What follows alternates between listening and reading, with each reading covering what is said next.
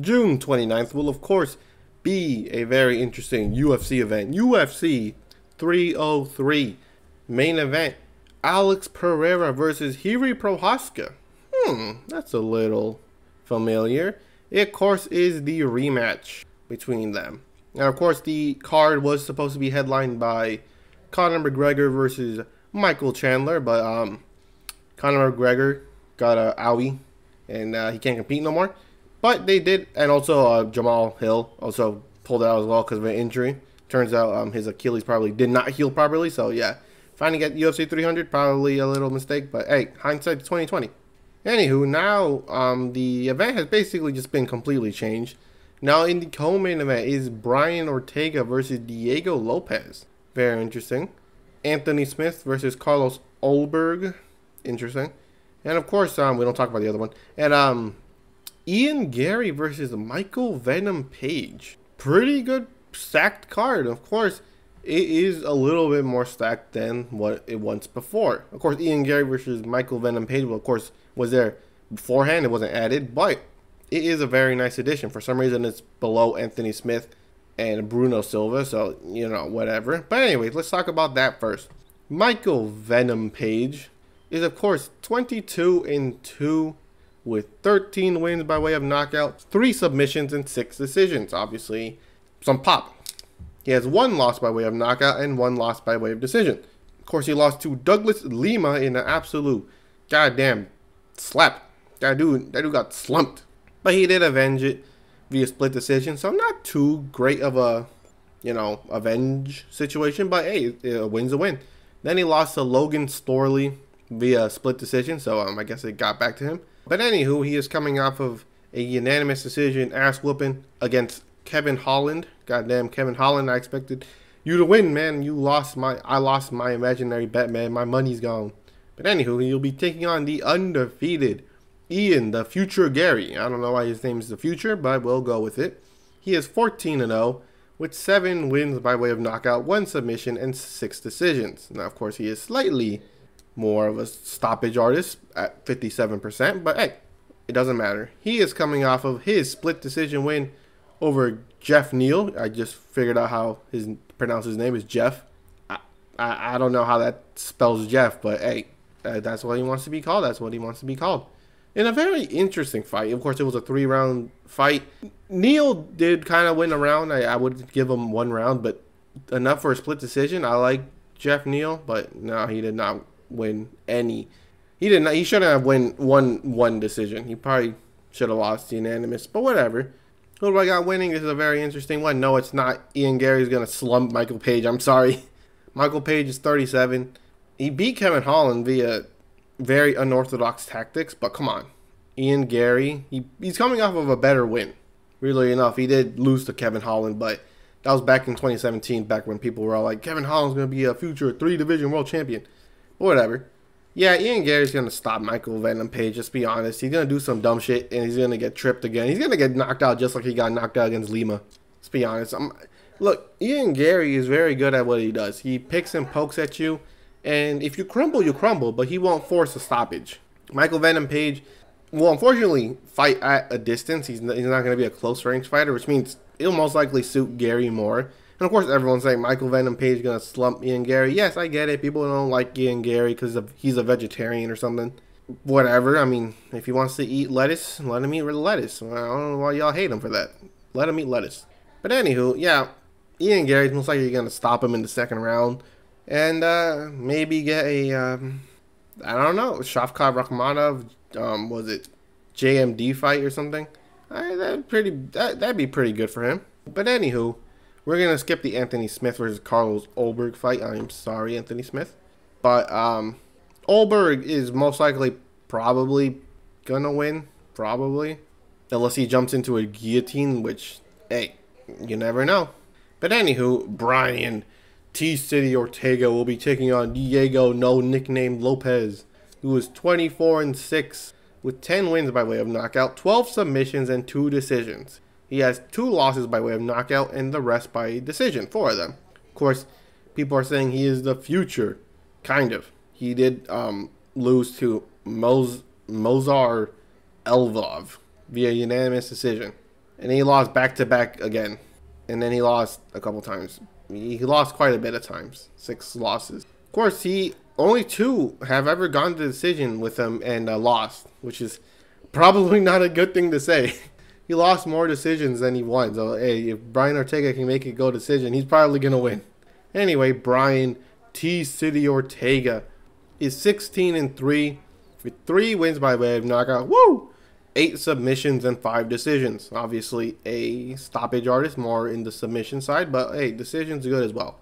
Three losses, two by way of knockout, and one by decision. One no contest, and that no contest comes all the way to um, uh, 2014. So yeah, of course, his three losses are more recently. He lost to Max Holloway via stoppage.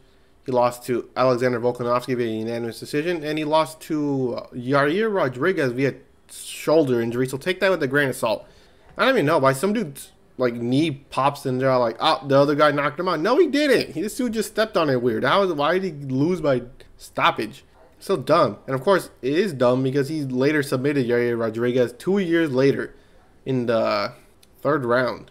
It was very easy too, kind of. He kind of got whooped in the first round. Second round, you know, getting a little nice, and then um, submitted him like within the like the, the third round. He just got him. He's like, whoop. He was like, ah, god damn it, and he got submitted. So yeah, but of course he will be facing a very tough, challenging up and comer. Dude's 29. Dude's old. 20 and 29 year old prospect. This dude's a what? That's not really prospect anymore. That's a contender. But anyway, so what I got winning, it's gonna be Brian Ortega. Let's be honest. Ain't no way Lopes is gonna try to submit Ortega. And don't get me wrong, you say, oh, you can stop him on the feet. Yeah, yeah, Rodriguez tried to try to do the same thing against a Brian Ortega who rolled his ankle. Like, yeah, you could try to knock out Brian Ortega, but he's a little too um built for that. He took an ass whooping in the first round, and just came back like oh, it was nothing and submitted him. Brian Ortega most likely gonna win, probably by submission, third round. Because don't get me wrong, Diego Lopes definitely has that pop kind of and that submission threat, but like Brian Ortega, it's not like Brian Ortega's old either. He's 33, and he beat a pretty good opponent. People are like, oh, but he doesn't have no, um, I don't know, defense of submissions and all stuff. I mean, he has pretty nice submission wins himself.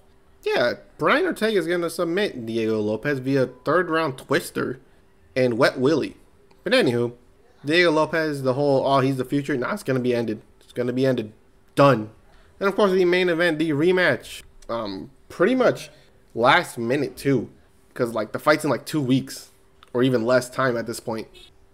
So of course everyone knows who these guys are. Jiri Prochazka, nickname BJP. Don't know why. Badass Jiri Prochazka. That's probably what it stands for. Is 30 and 4 with 26 wins by way of knockout, 3 submissions, and 1 decision. And uh, 4 losses, 3 by knockout and 1 by submission. So yeah, this dude, once again, if you go decision with him, you'll most, you'll most likely win. I mean, you don't really need to since he lost all of them by decision. I mean, he lost all of them via stoppage. Of course, his last loss was, of course, to Alex Pereira in the second round.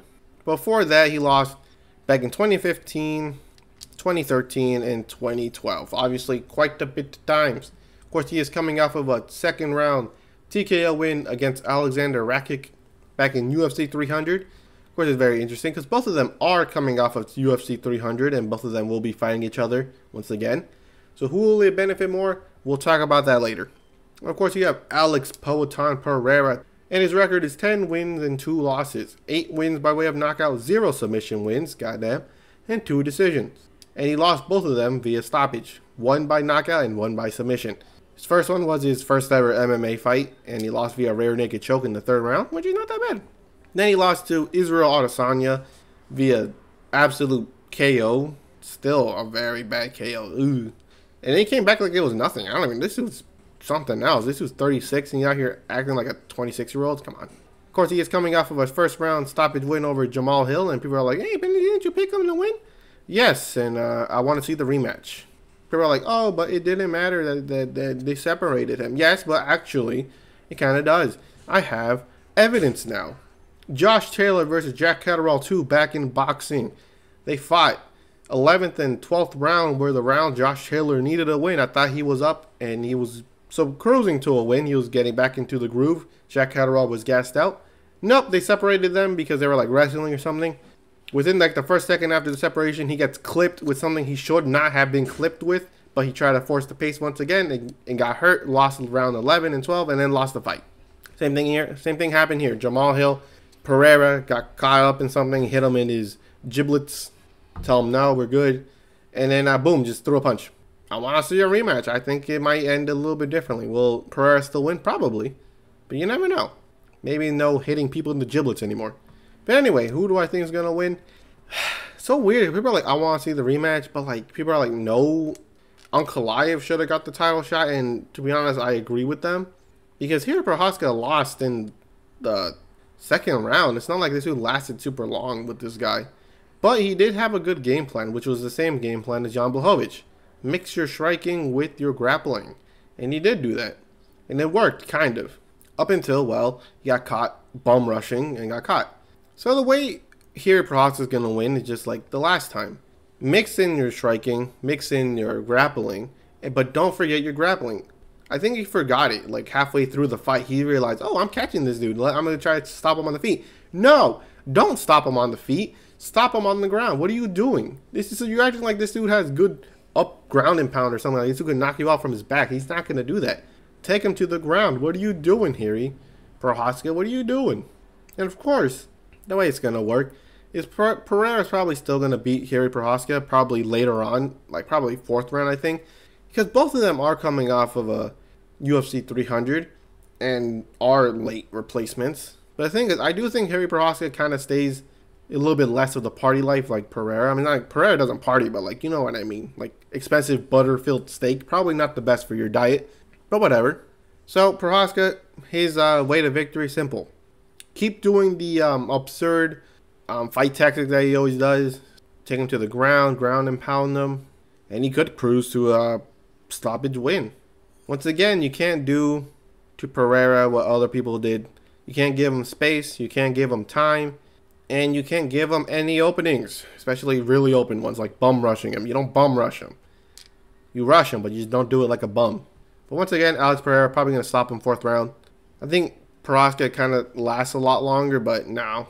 But then again, Pereira is 36. But once again, he is a very young 36. What he started fighting at like age 20. don't get me wrong, he has some stoppage losses, but like, who doesn't?